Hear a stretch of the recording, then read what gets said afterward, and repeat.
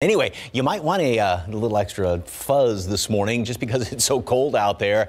Beautiful view. This is our camera from the uh, south side around Brooks City Base looking back toward downtown. It's a great, great picture. The nice glow. It almost looks like Christmas lights with all the lights on the, the dome and the uh, Tower of the Americas. 41 degrees right now in town, 33 Kerrville, below freezing in Fredericksburg. And we've got really, really dry air, so we can continue to drop down. We will continue to drop down this morning because we have clear skies, dry air, and now not much of a breeze out there. A little bit kind of a basically calm winds in many spots. Um, a slight breeze, New Braunfels as well as Hondo. And where there is a breeze, we've got wind chills down to 37 in New Braunfels, 33 in Hondo. So a little bit uh, to deal with, just a you know a puff of a, a, breeze out there. With these temperatures so cold, it's not going to take much to shave a few notches off with the uh, the wind chill. I think we'll be dropping down to 35 degrees here in town this morning. Clear, cold, just a beautiful start to the day. Couple of clouds out there. Otherwise, we're just going to call it sunny skies. Nice big warm up all the way to 65 degrees. So we start off on the cold side